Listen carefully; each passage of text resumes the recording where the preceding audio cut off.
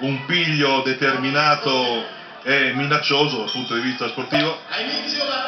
E siamo alla prima delle 12 riprese per questo tentativo di Lorenzo Di Giacomo di togliere la cintura della comunità europea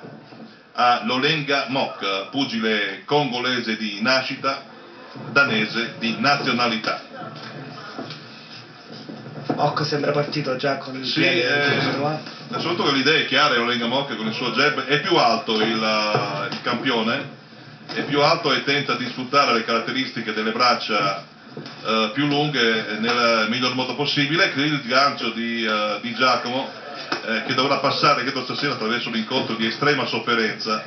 perché per a- arrivare a dar fastidio all'Olenga Mok dovrà necessariamente accorciare la distanza E dovrà accorciare- quindi esporsi eh, alla tecnica. ecco, il sinistro di Giacomo.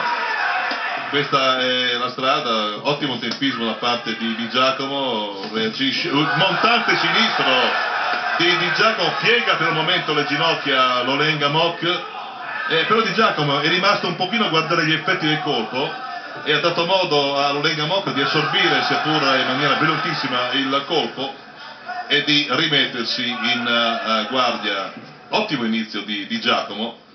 nonostante la brillantezza eh, fisica direi di Lolenga Mocca che appare un tantino più prestante dal punto di vista muscolare di quanto non appaia invece il nostro pugile. Tra l'altro cede anche 100 grammi come abbiamo sottolineato in apertura. Assolutamente in forma fantastica nonostante le 38 primavere. Sì, beh, fisicamente ineccepibile, mentre Lorenzo Di Giacomo è sempre stato un pochino rotondino, rotondetto per meglio dire, ma è la sua caratteristica fisica questa, al di là della preparazione che sicuramente sarà al massimo, come sempre, da parte del pugile abruzzese, che il suo lo dà sempre suo quadrato, non ha mai deluso, si può vincere, poi si può perdere, non ha mai deluso le aspettative. È stato un pugile costante durante tutta la sua carriera che ricordiamo è cominciata nel 97 da professionista a soli 19 anni, quindi eh, pugile di lunghissima esperienza. Poi sai, eh, sconfitte contro eh, Sylvester e contro Asikainen, eh, due campioni del mondo, per cui eh, tutto dire. E in due tentativi al titolo europeo. E diciamo che Sylvester, con Sylvester se avesse combattuto in Italia probabilmente quell'incontro sarebbe andato in una- un'altra maniera, questo senza voler togliere nulla ai meriti del campione Del mondiale. Eh, fase finale del primo round intanto un po' confusa,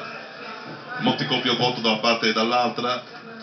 eh, dopo la- le fiammate della- dei primi due minuti, poi i pugili hanno inteso calmarsi un attimo, 10 secondi al termine della prima ripresa, e a vuoto il gancio di, di Giacomo,